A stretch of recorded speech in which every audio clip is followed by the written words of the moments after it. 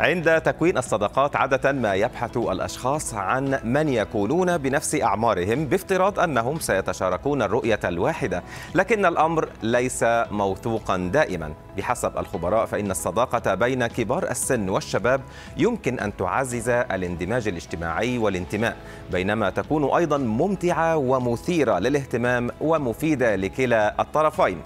كذلك يذكر خبراء العلاقات أن هناك عدة أسباب لتكوين صداقات مع أجيال مختلفة منها التعلم ممن هم أكبر سنا من خلال خبراتهم الحياتية. كذلك فإن الصداقة مع جيل مختلف ممتعة جدا نظرا لكون الكبار يحملون روح الدعابة والمشاركة التسلية والصغار يعرفون جديد الحياة والتكنولوجيا وغيرها. تعد الصداقة بين الأجيال المختلفة مصدرا قويا للدعم والرعاية والاندماج بطرق مختلفة عن الصداقات مع الأقران. كذلك فإنها تلعب دورا مهما في تقليل التنميط والتحيز حول الفئات العمرية المختلفة ومواجهة التمييز ضد الشيخوخة.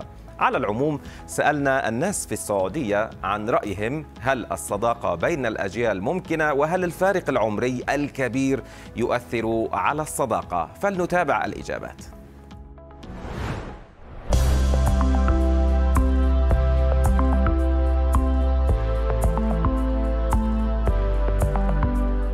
الصداقة بين الأجيال ممكنة لأنها تعلم التراث وتعلم الجيل الحضارات. بالعكس حلو لما تكون لك علاقة مع شخص كبير يعني في السن تاخذ منه خبرة السنين والأيام وتتعلم منه. ممكن تختلف يعني بين شخص لشخص في التفكير بين الجيل هذا والجيل هذا. شيء طبيعي. يعني زي عمري أنا 45 سنة صادق واحد عمره 30 سنة.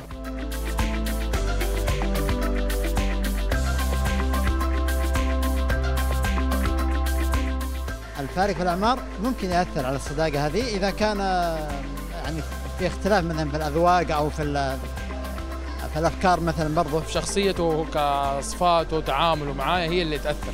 لكن العمر لا مجرد رقم.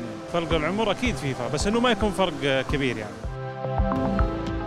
لمتابعة المزيد من الأخبار والبرامج والقصص الإنسانية والوثائقيات والتقارير الإخبارية.